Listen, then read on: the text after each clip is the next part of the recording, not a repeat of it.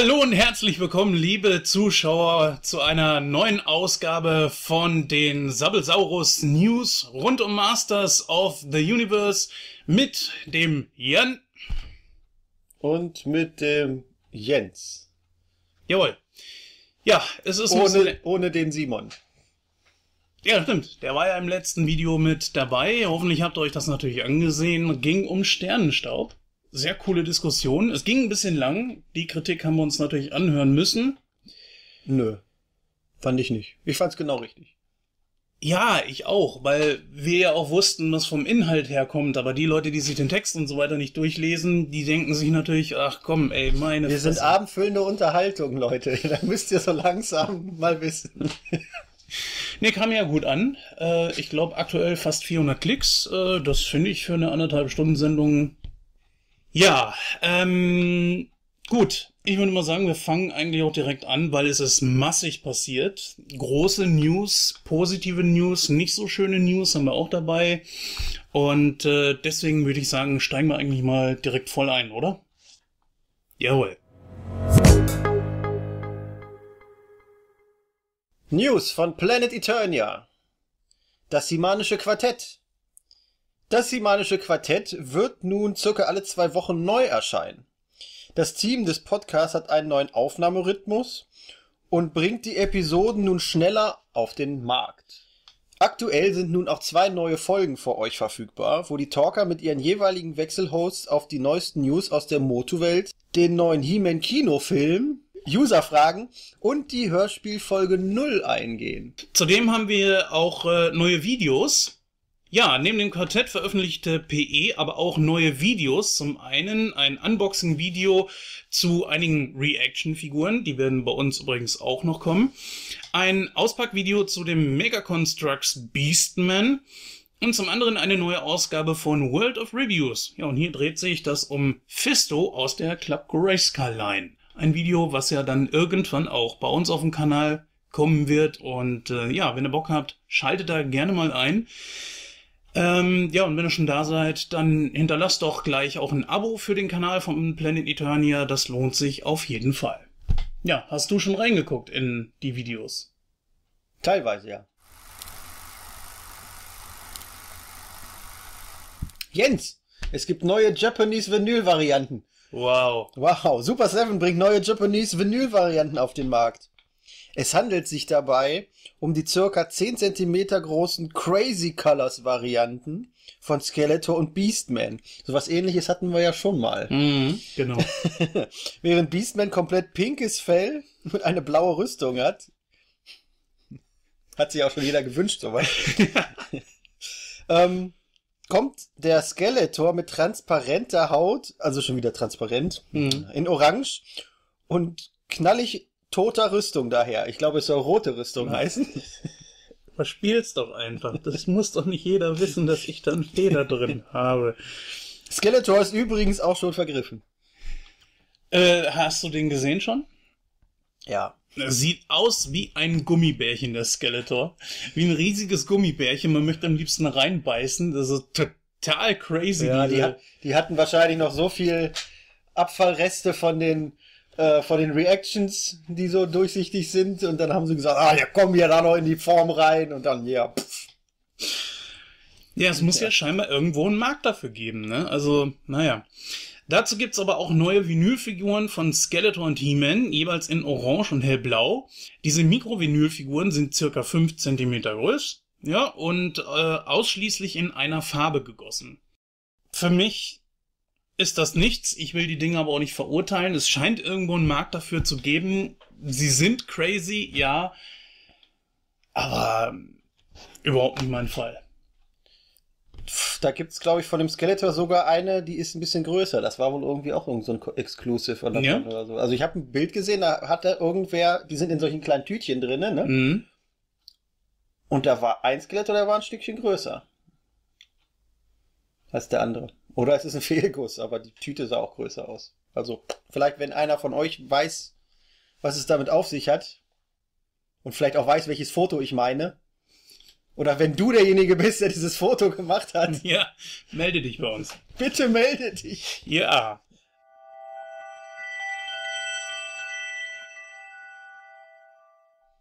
Snake Mountain wird produziert. Yay! Super. Seven. Die Scheiß bringt's doch jedes Mal. Naja. Am 2. Juni endete die um zwei Tage verlängerte Vorbestellphase von Snake Mountain. Doch bereits äh, vor Ende der Bestellfrist wurde bekannt, dass die Festung Skeletors auf jeden Fall produziert werden wird. Die Vorbestellungen reichten mehr als aus. Und somit wird das Playset nun final Anfang 2019 erscheinen. Man geht ungefähr davon aus, dass Snake Mountain Ende Januar, ja, so Anfang Februar, die ersten Fans erreichen wird. Damit erhält das Playset das erste Mal seit der Vintage Toyline wieder eine neue Version. Ja, das ist ja auch eine coole Geschichte, finde ich. Inzwischen ist auch das Artwork bekannt. Leider gab es zum Zeitpunkt der Bestellphase bisher nur eine Skizze von James Edmiston. Ähm, doch es verdeutlicht eigentlich schon gut, was äh, das Bild letzten Endes ja auch aussagt und aussehen wird. Also die Skizze sieht schon mal sehr vielversprechend aus. Man muss äh, gespannt sein, wie es letztendlich aussieht. Weil sonst haben wir dann wieder so ein, so ein Dilemma wie mit der Mega Constructs Grayskull, aber dazu später mehr. ähm, wie wichtig ist für dich das Boxart? Ja. Eigentlich nicht so wichtig. Äh, Wenn es gut aussieht, gut. Ja. Wenn nicht, dann nicht.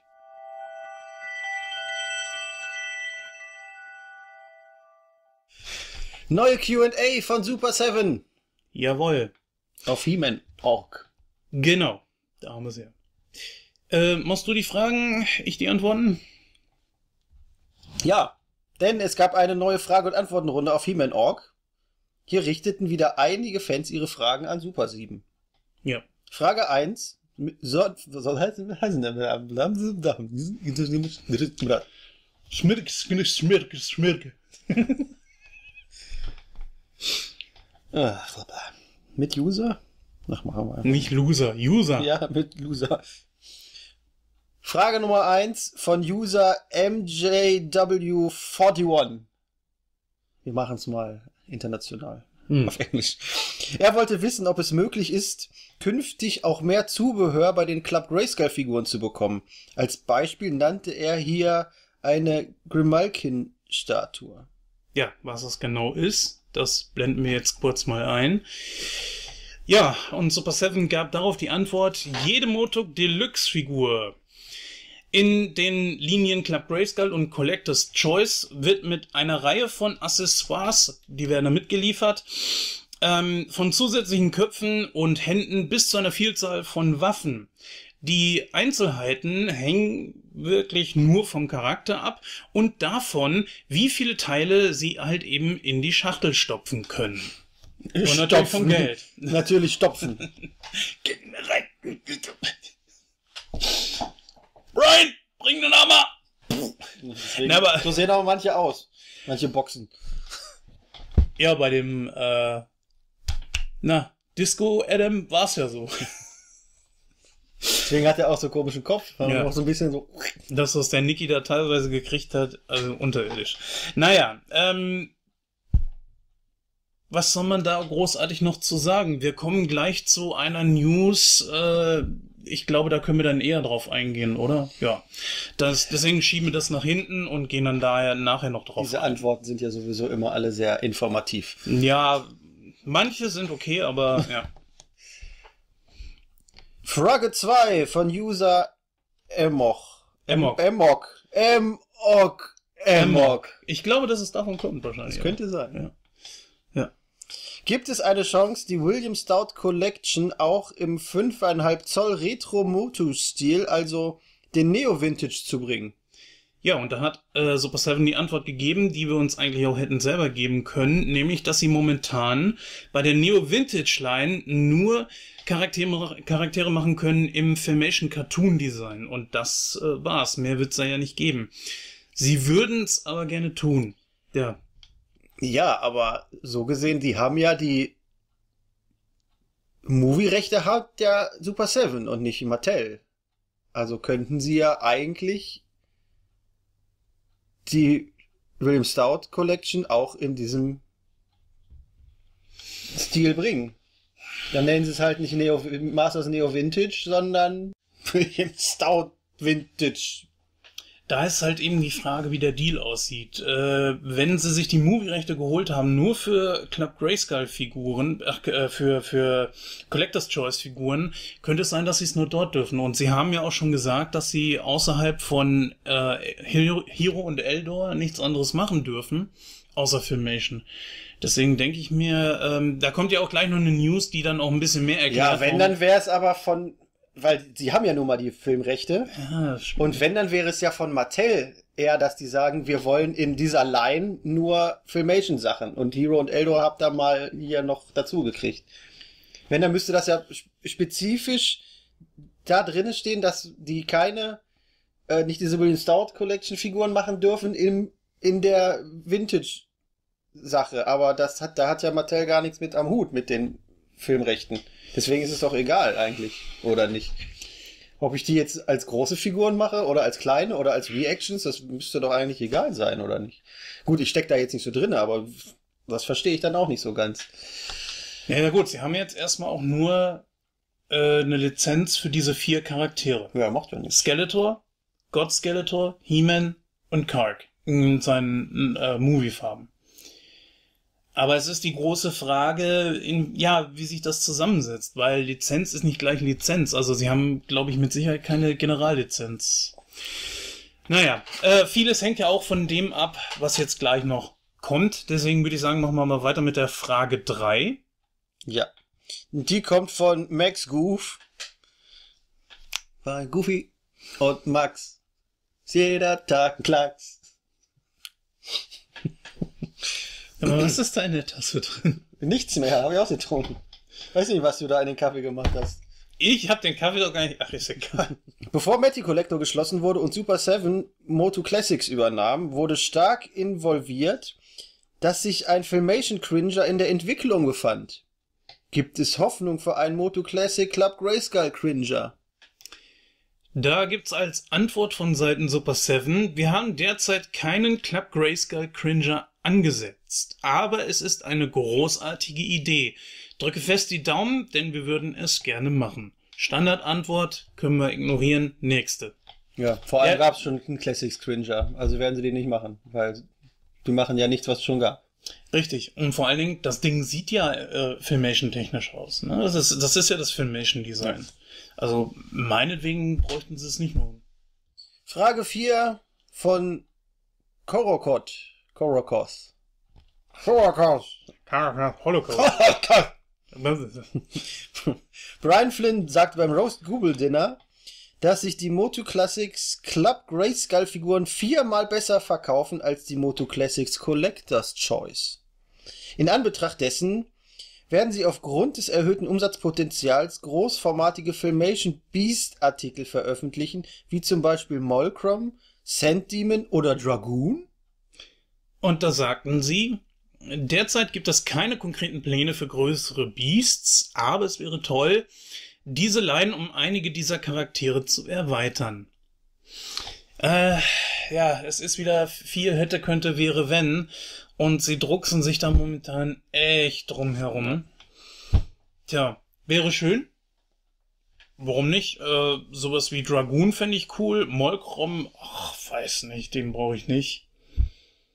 Es war doch dieses komische Viech ja, da. Mit diesen ja, ja, Tentakeln, dieses, dieses Pferdeviech. Ja, ja, ja, nee, den bräuchte ich zum. Ich bräuchte den zum Beispiel nicht. Ein Sand Demon weiß ich gerade nicht, aber Dragoon, der war, der war nicht schlecht. Den fand ich eigentlich ganz cool. Vor allem kam der ja auch öfter mal vor. Oder zumindest das Design in den. Frage 5 stellte Boba Fett Ox. wann, wann? Sehr komisch. Kommt man aus solchen Namen, ey? ja. Wann können Fans mit Neuigkeiten über die nächste Wave von Club Grayskull Figuren rechnen? Mhm. Also derzeit konzentrieren sie sich auf Snake Mountain, denn es ist das größte und verrückteste Projekt, das sie je angegangen sind. Also gibt man Antwort, ohne Antwort zu geben. Tja. Ich würde mal sagen, wir machen einfach weiter. Vieles beantwortet sich gleich. Es lohnt sich nicht drauf einzugehen, weil das Ganze ist, obwohl es noch nicht so lange online ist, doch schon alles sehr überholt. Aber wir haben gedacht, wir bringen es trotzdem mit rein.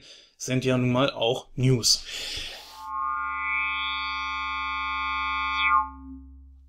Ja, die neue Line von Mattel ist nicht nur offenbart worden, sondern heißt wohl auch Origins. Ja, wow. endlich. ja, ich hätte natürlich auch einen anderen Namen genommen als Wurzeln, aber bitteschön. Passt zumindest zum Mossman. Naja, was soll's. Äh, ja, Mattel gab nun bekannt, dass es auf der San Diego Comic Con zwei neue Figuren einer möglichen neuen Serie geben wird, die wahrscheinlich auch produziert wird. Es handelt sich dabei um äh, die Figuren He-Man und Minicomic, Minicomic Adam im Neo-Vintage-Stil. Aber nur im Stil. Im Gegensatz zu den Neo-Vintage-Figuren von Super 7, welche sich stilistisch stark, stark halt eben... Stark? so viel Game of Thrones geguckt, stark äh, an den Vintage-Figuren orientieren. Baut Mattel allerdings hier jetzt Gelenke mit ein. Ja, und nicht nur das, bei dem Set liegt auch zahlreiches Zubehör in Form von Waffen, Wechselköpfen und Wechselhänden dabei. Das Set wird es offiziell im Shop von Mattel unter shop.mattel.com zu einem Preis von 40 Dollar vorzubestellen geben. Und der Verkaufsstart ist bereits schon am Montag. Und da wir nicht so genau wissen, wann diese Folge hier online ist, wir versuchen es natürlich so schnell wie möglich online zu bringen, äh, ist das eventuell heute, morgen oder war gestern. Sag doch einfach den, das Datum. 17. Äh, Juni 2019 hätte ich natürlich machen können, richtig. Ja, es werden nur begrenzte Mengen verfügbar sein. Wie es mit dem internationalen Versand aussieht, ist zum Zeitpunkt des Videos hier leider noch unklar. Ja, die Box, in der die Figuren ausgeliefert werden, die wird sich designtechnisch so an die ersten Vintage Minicomics halten und äh, finde ich eine coole Idee. Die Box sieht wirklich grandios genial aus. Top. Habe ich nichts gegen einzuwenden. Jetzt kommt's. Eine neue Line. Hm, wir haben ja gesagt, wir wollen uns da separat in dem Modulator nochmal drüber unterhalten. Wollen wir jetzt trotzdem kurz darauf eingehen oder das auf später verschieben? Wir können es auch jetzt machen. Ähm, die Figuren sind okay. Äh, wenig Kritik daran ist von meiner Seite aus zu üben, außer dass es äh, Stoff beim Adam ist, also richtiger Stoff. Hm, bin ich nicht so der Freund von. Ich finde da Plastik besser, aber ist okay, kann ich mich mit anfreunden. Womit ich mich gar nicht anfreunden kann, sind die viel zu kurzen Beinchen. Die Beine sind zu kurz. Es soll Vintage akkurat sein, aber es tut mir leid, nicht wirklich gut aus. Ich weiß nicht, wie du das empfindest. Ja, also irgendwie kommt es mir auch komisch vor. Also irgendwie will es mir irgendwie nicht so richtig gefallen. Irgendwie ist es, sieht's cool aus, aber irgendwie, äh, ich weiß nicht, das ist ja so, so, so ein Vintage Classics Mix, das ist so, äh, nicht Fisch, nicht Fleisch irgendwie, ne? Ja. Also Boxart ja auch, muss ich auch sagen, super, sieht gut aus. Ähm, vom Preis her, geil, 40, 40 Tacken für so jo. Dinger, super. Also gut, wir werden es wahrscheinlich ein bisschen teurer kriegen. Ja, wegen die ersten exklusiv sein. Die, wird, die ne? ersten äh, haben sie ja schon für 100 Euro schon irgendwo auf ihren Verkaufsplattformen. Ähm, ja, wechseln. Kauft da nicht. Tut uns den Gefallen, kauft da nicht, lasst denen ihre Kacke da liegen. Ganz ehrlich, Scalpern finde ich äh, ein paar Euro draufschlagen, 10er oder 20 oder so, aber das ist doch ja. irre. Äh, ja. War das in äh, Euro oder, oder Dollar? Weiß ich gar nicht. Habe ich Euro gesagt? Vielleicht waren nee, du hast gar nichts gesagt. Okay. Vor 100. Ja, oder 100. Ja. Ist ja auch egal. Ja, ähm, gut, ja, nein, ich kann nicht da kaufen. Ähm, nee. Ich denke mal, dass die wahrscheinlich auch sowieso irgendwo nochmal einzeln kommen. Ähm, was cool ist, was mir auch gleich aufgefallen ist, dass bei He-Man dieser Dolch noch dabei ist, den du an den Stiefel stecken kannst. Das ist mm. cool. Ja, also eigentlich irgendwie cool, aber irgendwie auch nicht, ich weiß nicht, was ich da so richtig von halten soll. Und vor allem dann jetzt wieder irgendwas, wenn die da jetzt wieder was anfangen. Ob sie jetzt irgendwie, weil es jetzt die, Vin die, die Neo Vintage gab, ob da jetzt Mattel irgendwie so, da jetzt irgendwie wieder so noch dran anknüpfen will und ja, ich weiß nicht. Keine Ahnung, ist komisch. Also ich sag ganz ehrlich, ähm, passt nicht zu den Vintages Nein. und auch nicht zu den Neo-Vintages. Ich glaube, die, die, sollen ja auch so Vintage-Größe eher so haben, ne? äh, Wobei sie ein bisschen größer. Also ich würde ich würde wahrscheinlich drauf tippen, dass die irgendwo so eine, irgendwo dazwischen sind, zwischen in der Größe. ich würde mal schätzen so vier bis fünf Zoll. Weil ich glaube, man hat noch nichts gesehen, irgendwie so Vergleich zu irgendwas anderem. Ja, das ist das Problem, dass du jetzt, äh, dass sie jetzt versuchen, Vintage-Figuren mit äh, Gelenken zu verkaufen. Nur was soll das? Ne, wir hatten vor einiger Zeit ja nie wieder Vintage Ich habe ne, als gerade Thema. dran gedacht, ja. Und jetzt ist es wieder. Aber sie haben einen neuen Hut. Vom Aussehen der Figuren her ist in Ordnung. Ich finde die gar nicht so schlecht und je öfter ich sie sehe, desto mehr gewöhne ich mich dran. Das ist bei mir halt eben so ein Gewöhnungseffekt auch. Die Beine werde ich mich nicht dran gewöhnen können. Vielleicht sieht es auch einfach nur bei den beiden Figuren komisch aus. Das kann sein. Die äh, kommende Serie soll ja angeblich anders aussehen.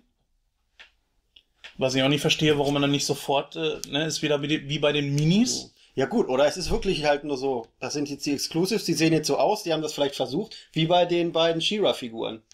Das kann auch Ja. sein. Haben wir ja auch nichts mehr weiter von gesehen. Ja. Also, mal gucken. Aber auf der anderen Seite wiederum, ey, schon wieder Vintage. Leute, ist doch langweilig. Ganz ehrlich, es ist, ist doch langweilig. Man hätte, das ist ja noch die nächste Frage, die wir uns ja jetzt schon gestellt haben im Vorfeld. Äh, es gibt ja dieses Sneak Peek. Was wird denn da jetzt gezeigt? Diese Line oder ist es doch irgendwas zum Filmen oder was, was soll das jetzt? Also so richtig werde ich da nicht schlau draus. Oder werden sie uns diese Figuren zeigen, ist auch Panne. Obwohl, die müssten dann ja eigentlich auch schon draußen sein. Und das jetzt anstelle der, der äh, Classics, ganz ehrlich, so viel anders ist der He-Man gegenüber dem, dem Classics He-Man nicht. Also. Wir müssen mal abwarten. Mysteriös, mysteriös. Ja. Wir werden versuchen, uns die äh, Exclusives zuzulegen. Und dann schauen wir mal. Mattel äh, haut schon wieder neue Sachen raus. Dann kommen wir gleich zum nächsten Thema. Das Ende von Motu bei Super 7 geleakt? Fragezeichen. Tja. Neben der Freude der Fans über eine neue Line rätseln die Sammler momentan über ein Bild, das im neuen Supercast von Super 7 zu sehen ist. Hier hat Brian Flynn nämlich nicht nur Prototypen von Club Grayskull und Collector's Choice Figuren gezeigt, sondern sich auch bei den Fans bedankt und richtete einen Daumen nach oben. Dann blendeten sie den Super 7 Schriftzug mit orangefarbenem Hintergrund ein, wo dann ein weinender Filmation He-Man erschien. Ja, was hat das zu bedeuten? Die Frage ist, warum Super 7 da- dies einbaute. Aus Freude über die neuen Figuren einfach so aus Lust und Laune oder bedeutet es, dass es bald keine Figuren von Super 7 mehr geben wird? Jens. Man kann es so interpretieren, man könnte es aber auch als Freudentränen interpretieren. Ich kann es dir nicht beantworten. Ich persönlich fände es schade, ganz besonders Vielleicht um... wird es auch die neue He-Man-Variante. Oh Gott. oh Gott. Naja, die Lizenz läuft aus. Und vielleicht bedeutet das, dass sie nicht weitermachen dürfen. Vielleicht sind sie nicht übereingekommen. Obwohl es ja erst hieß, dass es wo separat nebeneinander laufen soll.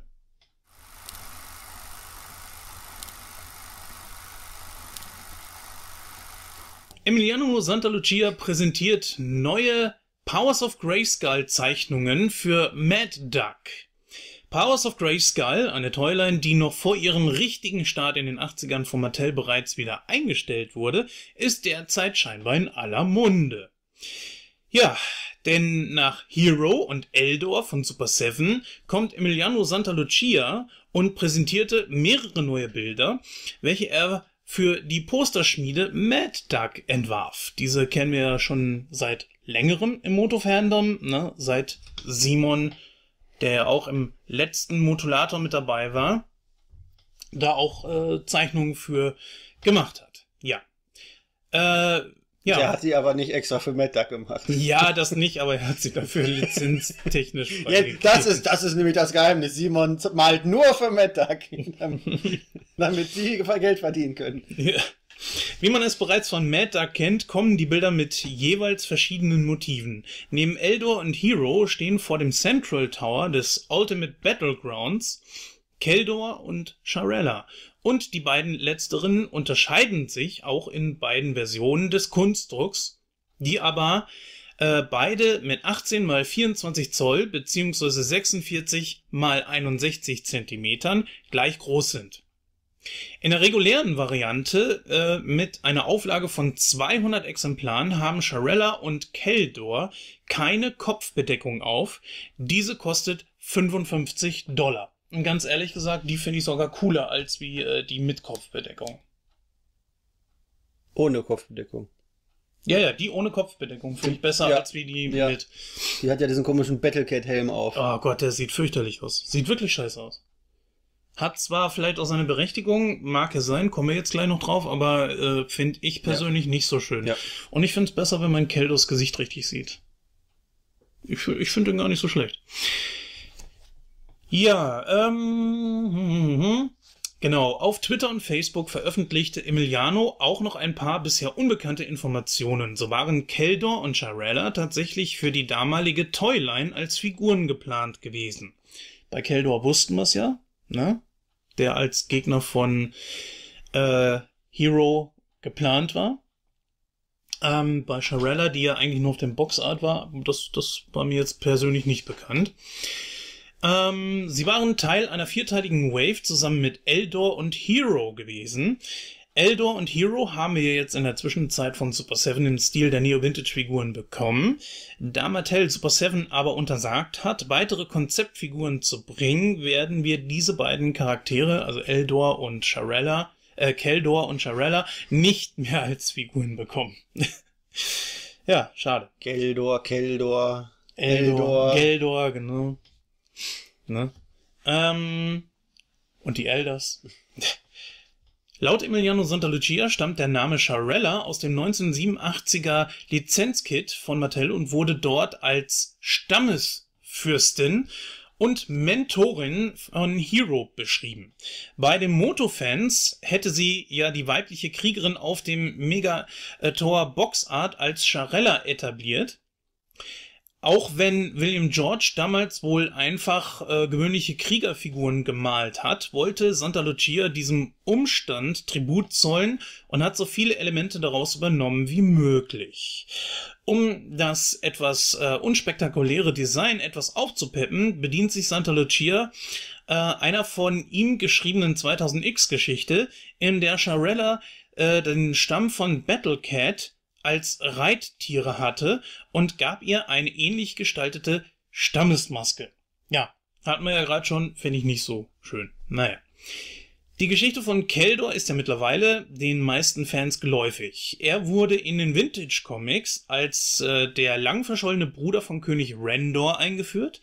Man verriet mittlerweile, dass Keldor in der Zeit zurückreiste und hier dann auch irgendwann zu Skeletor wurde. Genau, nämlich bei den Riesen. ja. Die haben ihn dann in den Strom der Zeit geschickt. In der 2000X-Ära griff man die Idee mit Keldor wieder auf und machte aus ihm einen Charakter, der unter anderem seine Wurzeln bei, dem blauhäutigen, bei der blauhäutigen Rasse der Gar hatte. Ja. Ähm, nicht, nicht, bei den Roh, bei den Gar. Oh. Irgendwie hätte ich mir gedacht, dass das kommt.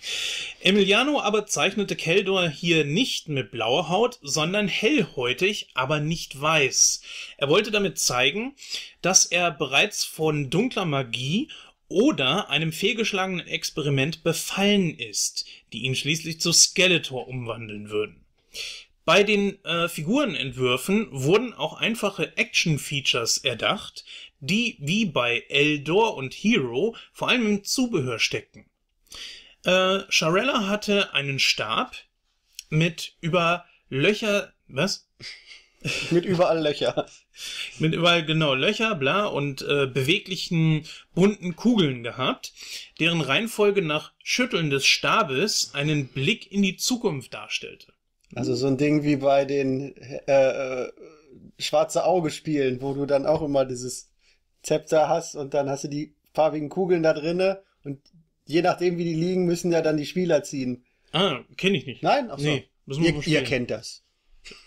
Schwarze Auge kenne ich, aber ich habe es leider nie gespielt. Ja, das hat auch mit den äh, Rollenspielen sehr wenig zu tun. Hm. Naja. Keldor hätte man einen magischen Spiegel mit wechselbaren Wackelbildplättchen beigelegt, die jeweils ein Geheimnis enthüllen, wenn man das Bild durch Wackeln wechselt.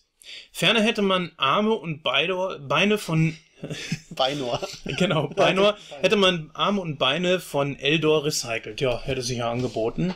Aber ja, ehrlich gesagt, schade. Ähm, jetzt könnte ich mir gut vorstellen, dass das wahrscheinlich noch jetzt bei diesen Origins auftaucht. Aber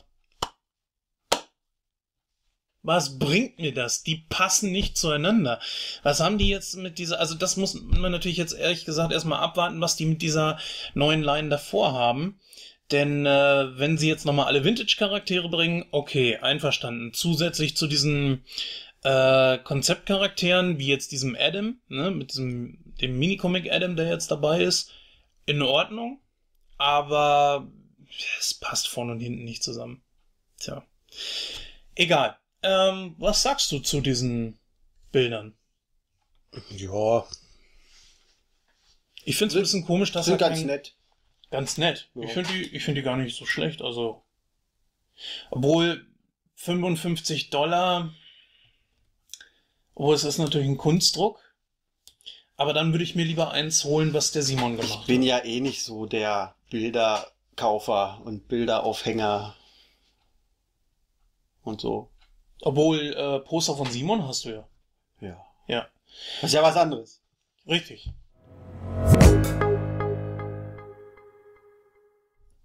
Letztes Thema. Mega Construct Battlebones wird SDCC Exclusive und Stratos und Scareglow sind nun erhältlich. Der vor ein paar Wochen schon geleakte Battlebones von den Mega Constructs wird nun tatsächlich erscheinen. Neben dem Sammelsaurus, das hört sich komisch an, wenn man es auf einmal so sagt, Ja, habe ich auch gedacht. So, ach, Moment, habe ich mich jetzt verschrieben? Ja. Nee, Sammel, ach so, ja, Sammel, nee, Sammel, Sammel, Sammel, was denn jetzt? Also neben dem Sammelsaurus selbst wird das Set noch die bereits erschienenen Charakter Faker, Man at Arms und Thieler enthalten. Allerdings auch ein bisschen wieder andere Varianten davon. Ja, Diese werden jedoch anders koloriert sein, ja. Man at Arms kommt in Filmation-Farben und ohne Schnäuzer. ja, und ohne Schnäuzer, genau. Und Faker mit magentafarbener Rüstung und Schwert daher. Ich glaube, dies, das Gesicht könnte auch eventuell anders sein. Tila wird ebenfalls etwas anders bemalt werden, hat aber als besonderen Clou noch ihre Cobra-Rüstung mit dabei. Mhm. Welche man von der Green Goddess aus dem Castle Grayskull Set recycelt hat. Ein zusätzlicher Kaufanreiz ist aber auch der bisher noch nicht auf Einzelkarte erschienene Mossman, welcher erstmals exklusiv diesem Set beiliegt. Also eigentlich wahrscheinlich ein beflockter Beastman. Du musst lesen. Ja, ich muss lesen, ich weiß. Bei der Figur handelt es sich natürlich um einen recycelten Beastman-Körper. Mensch, du, hast du das schon mal gelesen? Hast du schon mal gelesen? Welche aber zumindest teilbeflockt ist. Wie ich's gesagt habe, wow! Obwohl die, die Beine unten irgendwie nicht, kann das sein? Hm.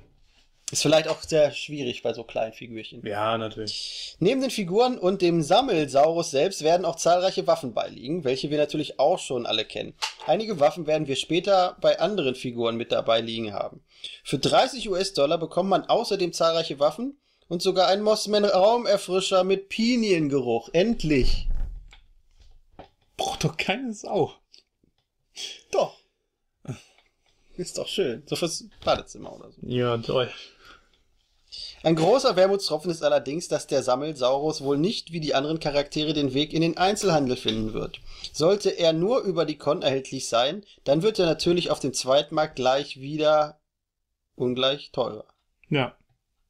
Im normalen Handel erhältlich sein werden aber Stratos und Scareglow, welche nun auch schon bei Amazon.com vorbestellbar sind. Kurioserweise hat man bei Stratos ein Exemplar abgebildet, wo der Kopf nicht auf den Schultern sitzt. Ja, der gehört so. Ja, ja. Kopflos-Stratos oder was? He- Head in the Sky, Stratos. Head in the sky. Das ist zwar nicht weiter tragisch, denn beinahe sämtliche Teile bei dem Mega Construct sind ab- bzw. auseinandernehmbar. Aber zum einen werden Mock-Sammler damit natürlich abgeschreckt und zum anderen zeugt das nicht gerade von großer Professionalität, wenn man solche Bilder benutzt. Das bei Amazon. Ja. Irre. Oh, oh, oh. Ja. Beide vorbestellt. Kommen ja. Und äh, die Figuren sammelst du doch, oder nicht? Hm. Fahrzeuge ja auch. Ja, wir gucken, was so kommt, ne? Ja, Battlebones. Ja, mal gucken. Ja, brauchst du zwei. Also was mich da jetzt wieder so stört, das sind dann auch jetzt schon wieder diese ganzen Varianten, die dabei sind. Oh, ich weiß nicht. Also, ich glaube, bei, für mich ist es so, bei den Mega Constructs ist das irgendwie andersrum. Bei den normalen Masters of the Universe Figuren geht es auch um die Figuren und Playsets und Fahrzeuge gehören irgendwie, sind so Beiwerk. Aber hier ist es wiederum anders, finde ich. Die Figuren sind irgendwie Beiwerk Ja, zu wie bei Lego halt, ne? ja, klar, da geht's ja auch eher so um, um Bauwerke, Fahrzeuge und Ja. sowas. Äh, was mich natürlich stört ist, ach, warum muss das Ding exklusiv sein? Bringt's doch einfach in die Läden rein. Menschenskinder für 30 Dollar nehmen die Leute das doch Ja. gerne. Das ist einfach, was ich nicht so ganz verstehe. Denn gerade bei den Mega Constructs ist es so, es fehlt auch jetzt so ein bisschen an Inhalt. Jetzt kommt das Graysky. Ja, okay. Geschenkt. Echt geil. Ja, das ist ja schön, ne? Äh, dann nehme ich's auch. ja, aber es fehlt einfach sonst an, ein bisschen an Masse. Bei diesen kleinen Dingen, da denke ich mir, haut doch einfach mal ein bisschen was schneller raus. Und sie können ja auch wirklich viel recyceln. Ja.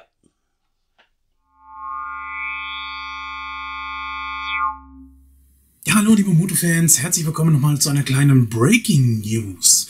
Heute, wie wir es ja vorhin schon gehört haben, war ja auf shop.mattel.com nicht nur der exklusive Battlebones von den Mega Constructs sowie das Tupac von Adam und He-Man von der neuen Origins-Serie verfügbar. Man konnte die vorbestellen und sich dann auf der San Diego Comic Con entsprechend abholen beziehungsweise sich dann auch zuschicken lassen. Aber es war auch noch etwas anderes vorbestellbar, nämlich ein Set bestehend aus Shadow Weaver und She-Ra.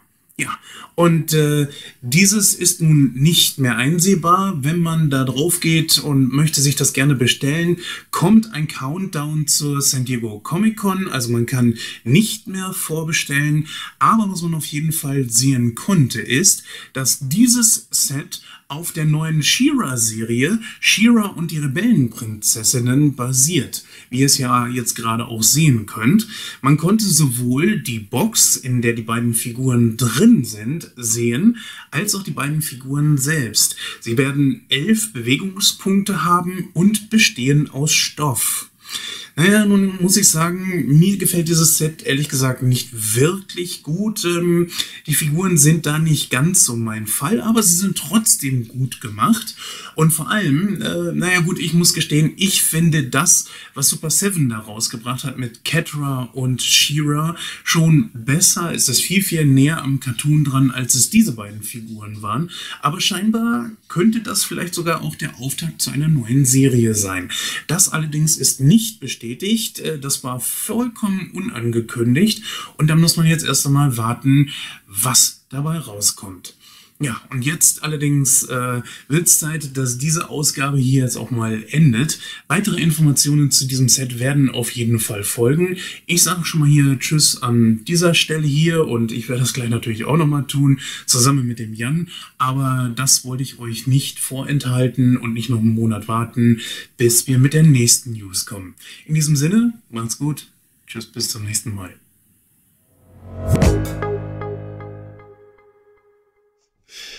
So, ja, das war's auch schon wieder Ja. mit den News. Viel passiert. Positives. Nicht so Schönes.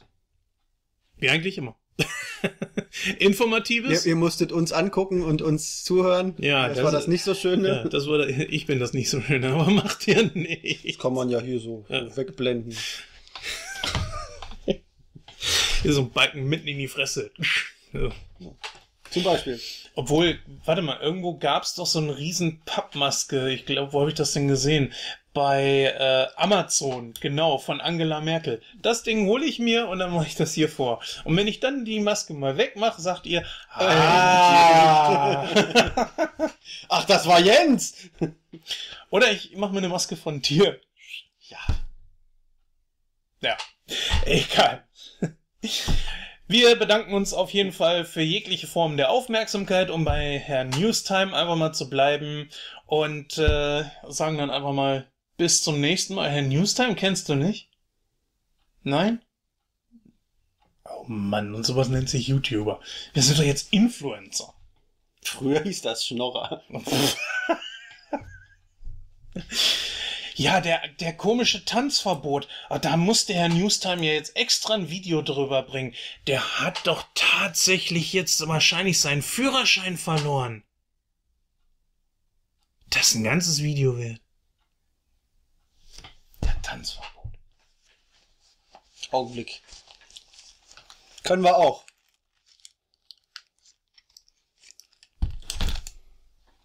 Oh! Führerschein verloren. In diesem Sinne, bis zum nächsten Mal. Macht's gut.